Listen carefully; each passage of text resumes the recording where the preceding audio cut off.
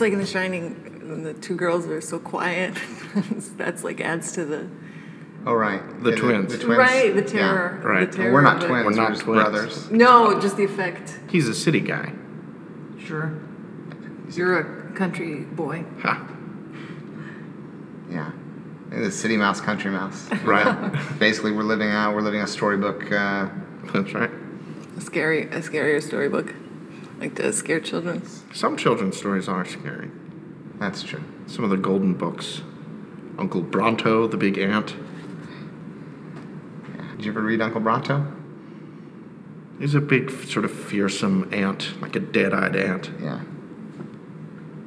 He'd come storming into different towns and plucking the children who were misbehaving in one way or another, and sort of, you know, he'd hold the child up to his face with his big ant pincers, and then the child would just be terrified. Right. Um, but Uncle Bronto would be explaining to them, you know, why you can't waste water. Right.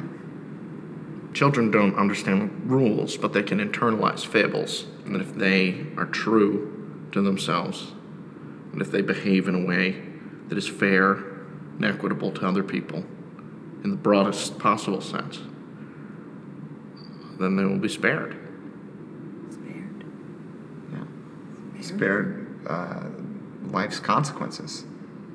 There's natural consequences to misbehavior.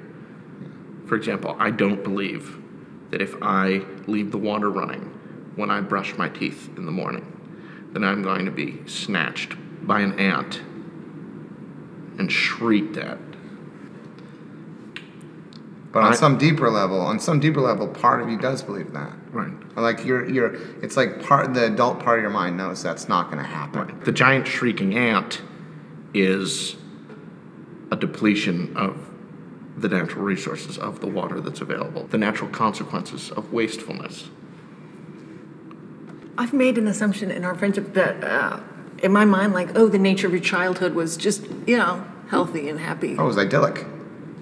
It was lovely. Yeah. We would go, we'd spend Sundays, our mother would make breakfast. We'd go to the library and return our Uncle Bronto book and get a new Uncle Bronto book. How and many would are? read it Is to a series of It's a it's a series. There's uh, hundreds. hundreds of Uncle Bronto books. It's a lot to I mean, there's a lot of lessons. Yeah. Yeah. Although it is a repetitive series in the sense that most of them follow the same trajectory, which is that whatever the lesson is, Behave, behave. consequence. Yes. Uncle Sure. Bronto stomps into town, lifts up the children, and he imparts whatever the message. Well, that's nice, I guess. You know, by the end of the book, the child has learned a lesson or knows that the. Usually not. Um, the child himself is not aware of the infraction necessarily. Um, it's us, the readers, who um, appreciate the lesson of the story. Sometimes the child doesn't know what rule he's broken. There's one, it's Uncle Bronto and the cookie cutter. It's a boy who stays home from school and eats cookies at his house because he doesn't think he needs to go to school, etc. And midway through the day, Uncle Bronto lifts the roof off the house, reaches in, grabs the child, shrieks at him. The child has no idea why this is happening. You know, you wouldn't. You wouldn't. Uh, Uncle Bronto, it's important to say, is he's not anthropomorphized. He doesn't speak, you know, English. And he would hold the child, and the child would hold it right up to his face, and he'd be clicking and spittling and, and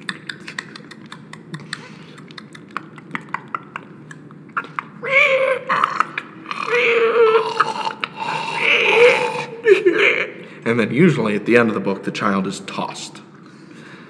And little move, motion lines, so Uncle Bronto tosses away, and then Uncle Bronto traipses away to the next town or house. And that's the way. That's the way those stories. I mean, they're magical. And there's a little button at the end that's the moral of the story, but uh-huh. that's Uncle Bronto on the last page explaining to us, The reader. but someone physically present in the world of Uncle Bronto Wouldn't would hear shrieks and clicks. Neil, do you.